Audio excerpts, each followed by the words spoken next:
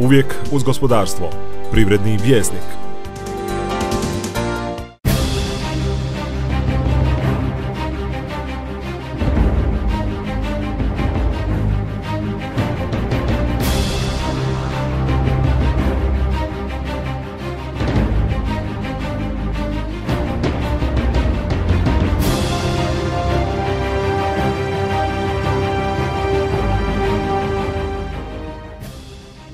Vrijeme je za gospodarstvo. Nakon što je tvrtka Gaju u kojoj su radili otišla u stečaj, dvojca kolega otvaraju svoju tvrtku. Založivši privatnu imovinu, kupuju nakon sedam bezuspješnih licitacija zapuštenu tvornicu drvenih konstrukcija. Nakon tri godine velikih ulaganja, danas jedini u ovom dijelu regije proizvode lamirane drvene konstrukcije razmjera do 44 metra za dvorane, bazene, hale.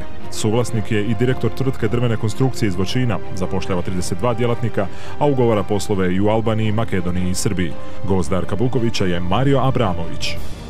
Gospodine Abramović, evo, petoljetka je i za nas, i za vas, i vašeg partnera, gospodina Miodraga Jarića. Dakle, trebalo je donijeti odluku nakon što je tvrtka otišla u stečaj. Da, pa bilo je to, razmišljali smo mi, ovaj, nismo imali puno vremena ovaj, za, za razna promišljanja, međutim jednostavno e, situacija e, trenutna na tržištu, odnosno s druge strane posao koji smo se naučili raditi, s koji smo se dobro izbrusili, e, na neki način je to sve bila na neki način nekakav vodilja, nekakav put prema nastavku te djelatnosti koje smo za, za one koji ne znaju, riječ je o pogonu koji je od 1972. radio u Voćinu i zapravo tamo se radilo preko 3000 objekata na području bivše Jugoslavije i ovog dijela. Je napravljeno športskih dvorana, e, hala, štala, bazena i svega. I zapravo bio je e, trenutak, s jedne strane loš, kako kažu, dok jednom ne smrkne, drugome ne osvane. Nažalost, e, ugasila se tvrtka zbog mnogo razloga, da ne ulazimo sada u njih što se događalo sa Gajom i Slatine. I vi ste zapravo pronašli market niš, kako bi danas rekli. Odlučili tu istu proizvodnju nastaviti u vlastitoj tvrtki. Tako je, tako je. Ovaj, bilo je to doista teško uh, uh, kupiti tvrtku, dignuti kredit bez uh, imovine. Znači mi smo krenuli od nule, od početka. Naišli smo na razumijevanje naše poslovne banke koja nam je koja nam pomogla da dođemo do kredita i da kupimo tu tvrtku. Jel? kažem, radili smo dugo ovaj, taj posao, ja sam ga radio deseta godina, smatrao sam ga znam dovoljno dobro da možemo i samostalno nastaviti i izgraditi tu tvornicu. Da. Iz tog našeg e, priče o stečajevima se zrcali ta jedna nelogičnost. Morali ste čekati sedam licitacija tako, bezuspješnih. Iako se, vjerujem, na samom početku i kod prve znalo da je nitko neće kupiti za tu cijenu. Da, cijena, e, cijena koja je bila... E, Isklična u tom trenutku. Znači ona koja je bila procjena bila prevelika. Znači ona je bila puno, puno veća nego što je tržišna i nego što je vrijednost tih nekretnina bila. To se obično dešava sa tim našim stečajima i sa procjenama vrijednosti nekretnina. Znači ne radi se pravi procjene vrijednosti nekretnina, nego se te ovaj, cijene dižu u nebesa na način da se ovaj, možda, ne znam, na neki način stvarno netko nađe pa da to kupi pa da se namire svi rovnici. No, međutim, to nije moguće i tu gubimo dosta vremena. Tu se gube godine, godine se gube većinom gdje jednostavno ti radnici koji su radili u tvrtkama ne rade, bude na zavodu na zapošljavanje na neki način koštaju državu. Jel? Da. Ali vi ste u toj jednoj rupi dok niste otkupili e, bivši pogon zapravo krenuli sa istom tom djelatnošću u vlastitoj tvrtki, zaposlili deset ljudi i imali jedan trenutak u kojem ste se već počeli pozicionirati na tržištu. Da, mi smo u biti uh, unajmili jedno staro skladište, jednu staru kućicu, to je bilo onako dosta rušeno stanju, gdje smo u biti nas par krenulo, rekli smo ili sada ili nikad idemo to probati, nemamo šta izgubiti. Jel? Znači krenuli smo sa time i ja se evo, stvarno zahvaljujem investitorima koji su ovaj, htjeli ugovoriti poslove sa nama na takav jedan način. Mi smo im s druge strane e, dali maksimum, napravili smo odlične poslove i ti investitori su i dan danas zadovoljni s tim Prije nego dođemo do toga što ste sve učinili, ajmo se vratiti još na taj trenutak. Preuzimate tvornicu koja je totalno zapuštena, ali ne samo što je zapuštena, ona je istodobno i tehnološki prestara za bilo koju novu proizvodnju. Tako je. Supruge su vas vjerojatno jako voljele kad ste odlučili da, hipoteku dati Da, na svoje da, da, da, e, da. privatnu imovinu. Da, da, da. Pa ovaj, bilo je to, prvo je bilo najteže nagovoriti suprugu. Dakle, one su strateški investitori. Tako, one su jako zaslužne. Moja supruga je od kolega supruga. A, znači, u tom trenutku smo, a, pa kažem, bilo je pitanja, pitanje opstanka. Znači, to je bilo ili ali. Znači, nije, nije bilo druge varijante nego to, jel? A, to smo kupili, tvrtka je, znači, a, a, 72. godine, znači, je tvornica napravljena, a, ra- rađene su bile uglavnom i nekakve tehnološke preneke, odnosno neki novi strojevi su bili montirani, ali to je sve bilo do recimo 89. godine. Nakon 89. godine pa sve do znači 2008. godine od strojeva i tehnologije nije uloženo ništa.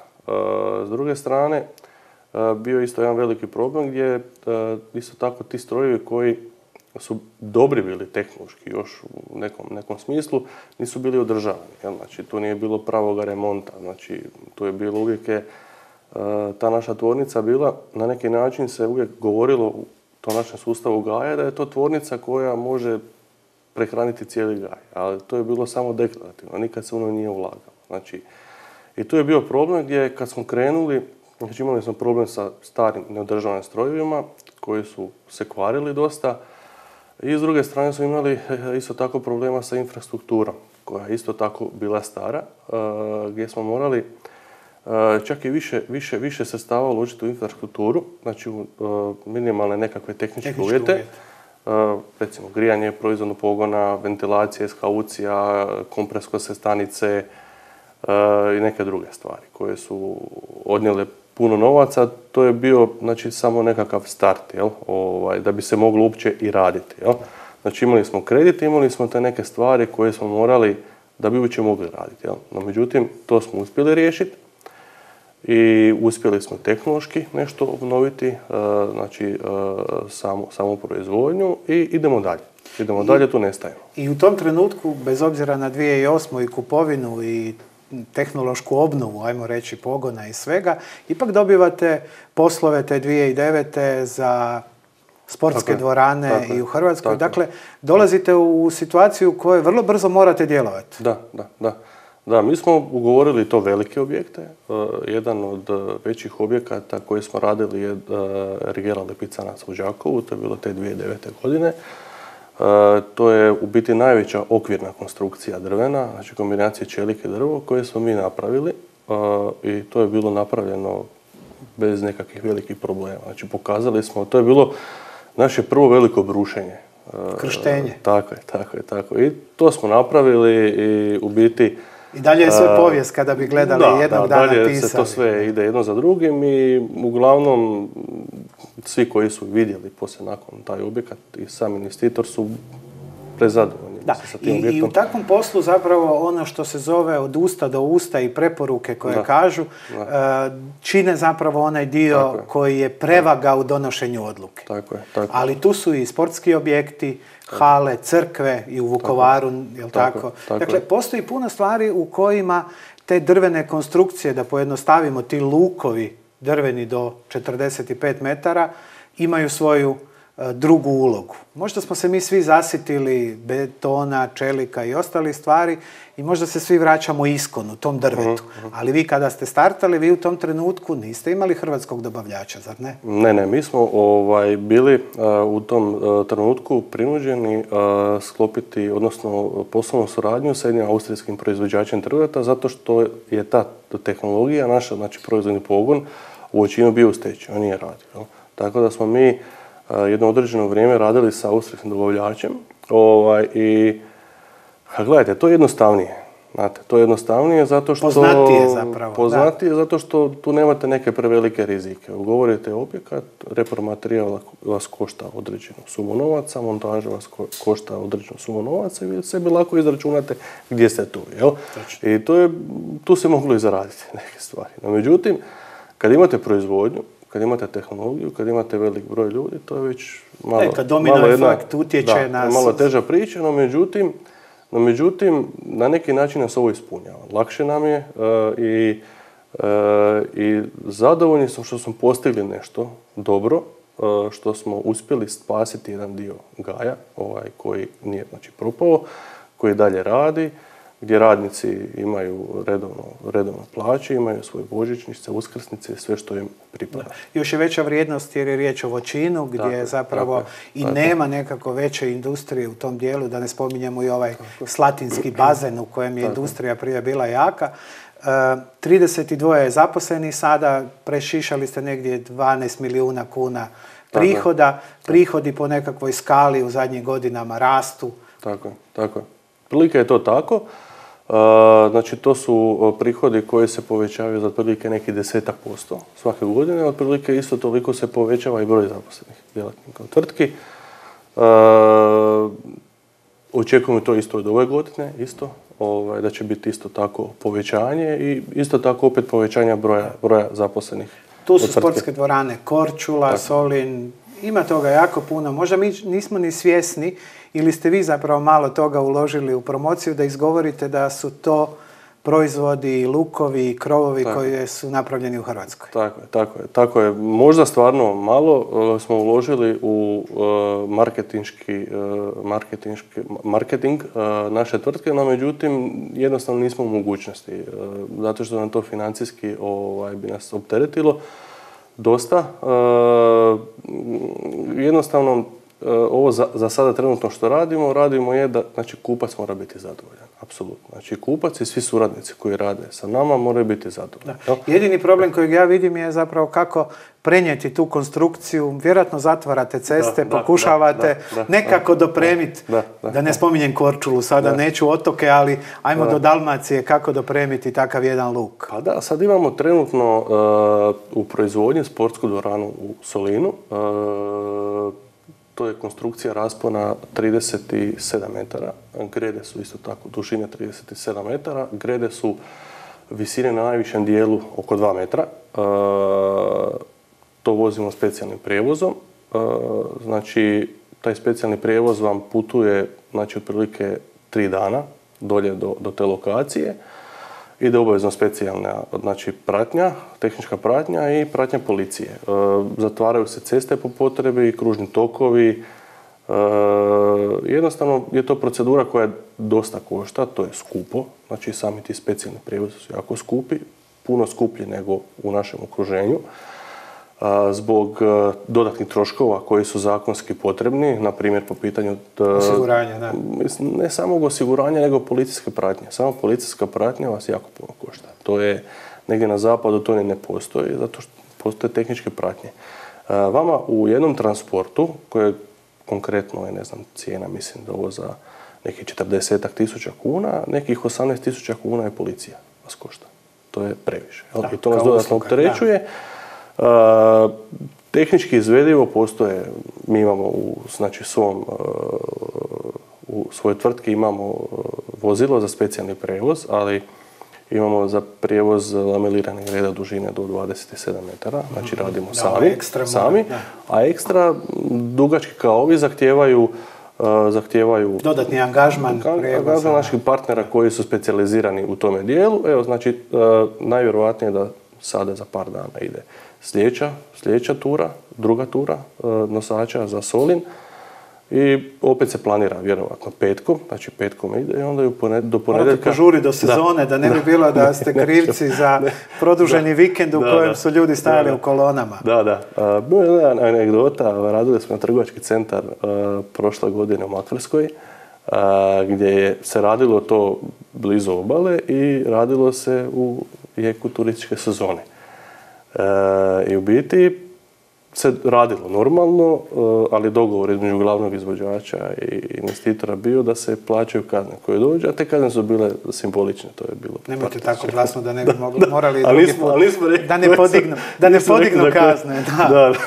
Kad ste spomenuli zapravo nešto što smo između redaka rekli kao hrvatski proizvod, izvorno hrvatski, ja se nadam da ćete mm. uskoro dobiti oznaku izvornog hrvatskog proizvoda, koliko je taj proizvod prepoznat izvan zemlje, Albanija, Makedonija. Znam da ste imali neke ugovore i dogovore sa Crnom Gorom, Srbijom. Da, da. E, znači, kontakti su e, dosta česti, imamo upita, znači, iz, iz, iz Makedonije imamo, Makedon smo radili par velikih objekata, iz Albanije isto tako. No međutim, problem je što se kod njih ne investira, ne gradi baš nešto ovaj, previše, tako da toga nema u izobilju. Ali su oni prepoznali našu kvalitetu i koriste naše. I ono, kako se kaže, u slučaju ako će graditi, znaju kog će nazvati. Tako je. Što je isto jedna dobra stvar. Upravo tako. Vi ste i član e, klastera konkurentnosti drvne prerađivačke industrije, svojih klastera na razini županije i svega. Trenutak je u kojem drvna industrija treba dobiti jednu, možemo reći, vjetar u leđa kao strateška hrvatska grana. No postoji još puno stvari koje mi nismo sami prepoznali. Pa evo i vi ste primjer u kojem ovo e, kao proizvod, kao jedna posebnost hrvatske drvne industrije nije jako prepoznata. Kako funkcionirati u trenucima nabave? Kako funkcionirati kod javne nabave? Koliko je moguće zapravo tu drvnu industriju staviti na mjesto koje joj pripada? Da, pa gledajte, mi konkretno uh, u biti kad bi povukli nekakvu, uh, nekakvu paralelu, u recimo nekim e, prihodima mi ostvarujemo veći prihod e, od privatnih investicija nego od e, samih državnih investicija. Državne, kroz državne investicije, kroz javnu nabavu bi se moglo ovaj, dignuti naše gospodarstvo, poglavito drvna industrija. I tu bi trebalo na tome raditi.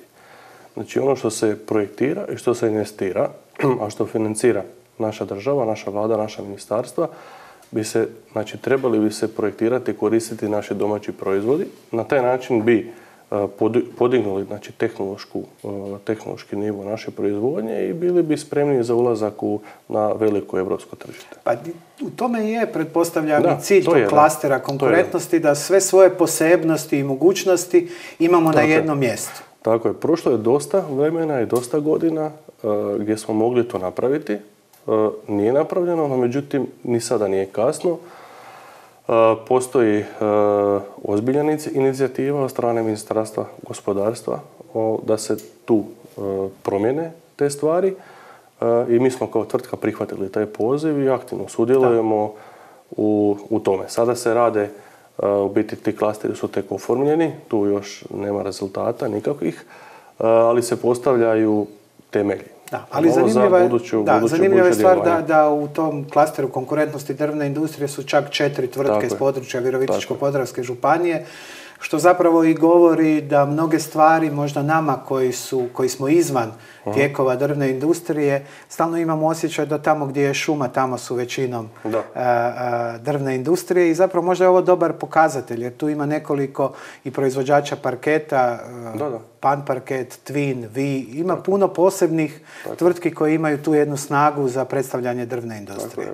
Znači, naša Virovitička podravska županija je usudio bi se reći najjača po pitanju e, drvne proizvodnje. Znači tamo postoji tvrtka Twin koja je najveća znači, e, tvrtka koja se bavi sa drvnom proizvodnjom, zapošljava negdje oko tisuću zaposlenih.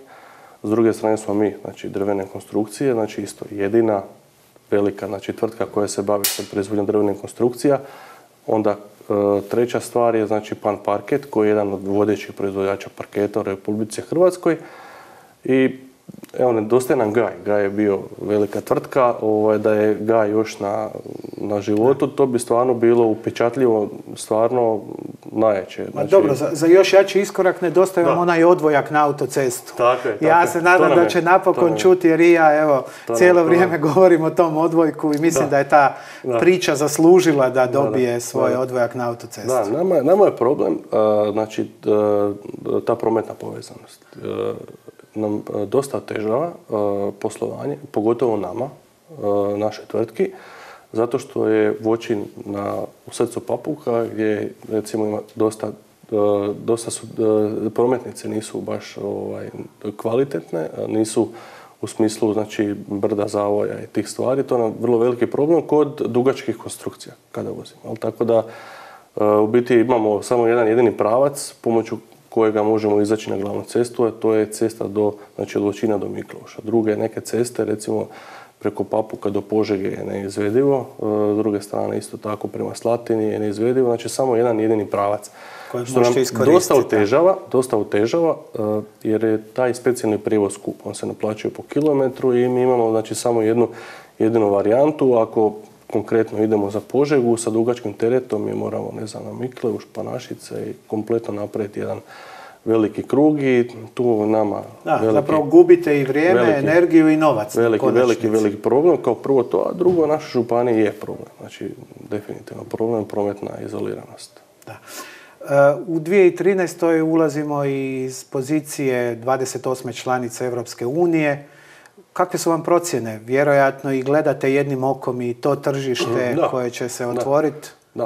E, do sada smo imali problem e, sa e, certifikacijom proizvoda naših, no međutim uspjeli smo znači, riješiti certifikaciju proizvoda gdje ćemo sa ulaskom znači, u Europsku uniju dobiti CE, znači automatski CE oznaku i biti ćemo otvoreno tržište Europske unije. To je Znači, riješili smo problem proizvoda, no međutim nismo riješili problem rada naših radnika, odnosno situaciju ako mi ugovorimo cijeli objekat, recimo na primjer u Austriji, e, bojim se da nećemo moći to sa našim radnicima odraditi zato što uh, Oni zapravo ne mogu dobiti dozvole tako, da tako, kao...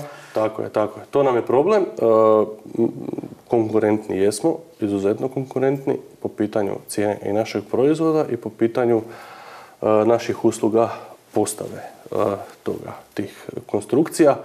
Tu bi dobro, uspjeli dobrih poslova odraditi, no međutim bit ćemo spriječeni sa tim, sa tim elementom i morat ćemo sačekati ovaj, da, sadašnje, sadašnje zakonodavstvo vas zapravo priječi da zaposlenici obave, e, montažu u drugoj znači, zemlji, nego bi morali angažirati tamošnje domicilno stanovništvo za taj dio, što bi iziskivalo opet dodatne troškove i kombinacije. Tako je. Opet s druge strane imamo imamo saznanja da određene tvrtke iz Austrije i Slovenije rade kod nas na našem tržištu ovaj, normalno, no međutim mi kod njih ne smijemo legalno raditi. Drugo je, druga je druga je materija, nekakav rad na crno, međutim to ne želimo. Ali ako ništa drugo, ja to uvijek izgovorim, pa zbog, što se kaže, zapisnika, s prvim sedmim demokracija je procedura. Ako će i ove stvari koje vi imate problem zbog ulaska u Europsku uniju biti riješene proceduralno, da neće onda niko moći ili ćete moći i vi kao i drugi,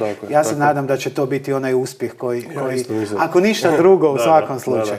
Recite mi planovi e, mimo Europske unije, širenje na hrvatskom tržištu? Pa tako je, da. Hrvatsko tržište mi pokrivamo. Znači, hrvatsko tržište znači, je prepoznalo našu kvalitetu, prepoznalo je, uh, jer gledajte, radimo uh, velike stvari, radimo osjetljive stvari, radimo konstrukcije velike koje moraju stajati 50 godina minimalno. Znate, to jednostavno nije, nije se za, za kockati sa nekakvim sumljivim proizvodima. Možete samo jednom, što se kaže. Nažalost, više nakon toga nikada. Uh, naši, naši kupci, naši naručitelji su svjesni toga. Oni znaju da mi sa svojim imovinom i sa svojim garancijama garantiramo za kvalitetu toga svega u garantnom roku. I to je jedan od razloga zašto mi radimo to, te poslove. E, plan u 2013. godini je e, dalje tehnološka rad na tehnologiji, znači kupovina određenih novih strojeva, i uh, isto tehnološko, znači poboljšanje same infrastrukture. Da. Kad spominjemo, puno se govorilo i očekivalo od države zajedno sa jedinicama lokalne uprave i samouprave i privatnim investitorima o javno-privatnom partnerstvu, gdje zapravo, ako gledamo između redaka, i prostor upravo za vaš proizvod. Mm. Školske dvorane, bazeni, moguće druge dvorane nekakvog otvorenog tipa, jer tu smo bez obzira na sve i na trenutak u velikom deficitu. Hrvatska jako malo ima sportskih dvorana, bazena, da ne spominjemo sad mala mjesta jer tu bi mogli nabrojati jako puno mhm. onoga što nedostaje. Mhm. Pa da, tu bi se trebalo raditi, na tome prostora ima. trebalo bi, i tu sada je, znači bi trebao skočiti naš klaster sa idejama o tipskim sportskim dvoranama, malima dvoranama za mala mjesta. Sad tu ne treba se pretarivati sa veličinama objekata u malim mjestima jer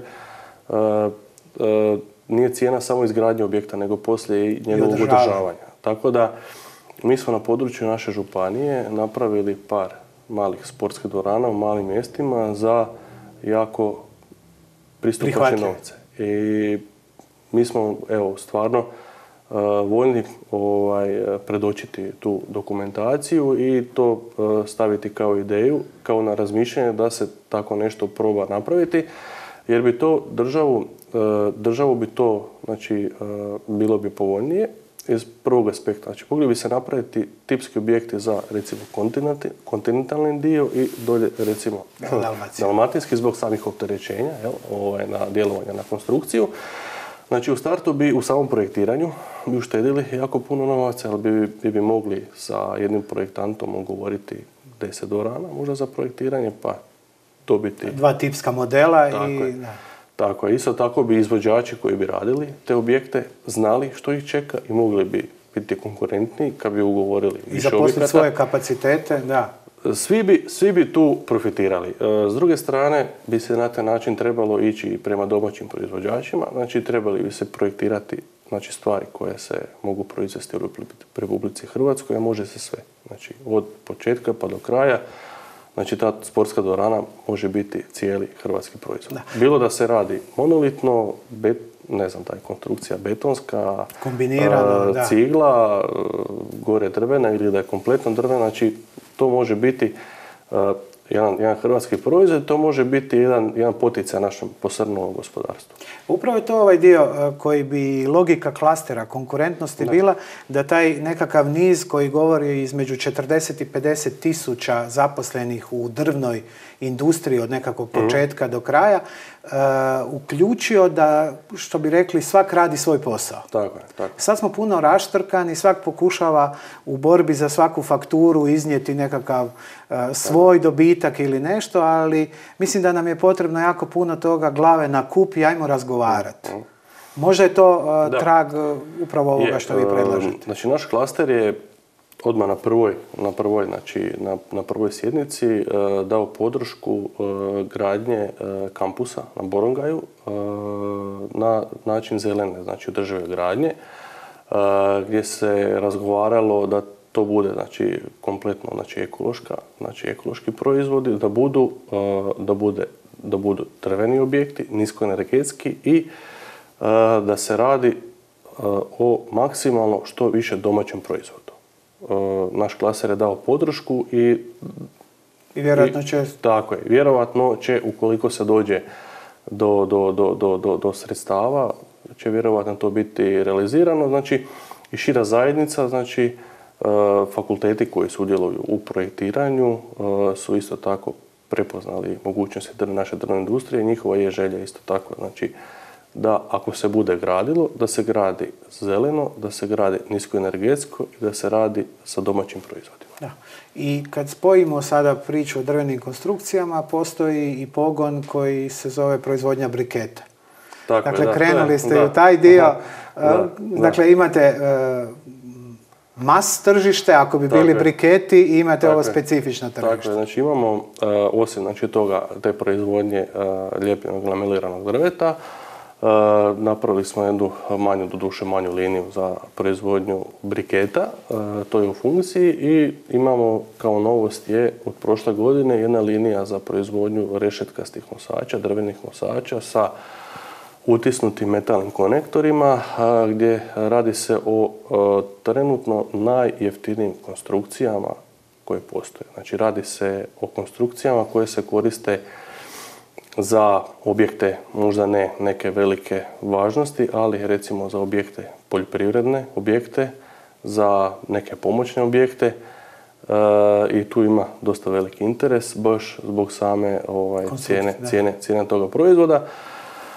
E, mi smo, za razliku od onoga što smo imali u, u Gaju, zaokružili cijelu priču u našoj tvrtki. Imamo e, ponudu od znači, idejnog rješenja, od konsultacijske usluge. ruke, što bi tako je.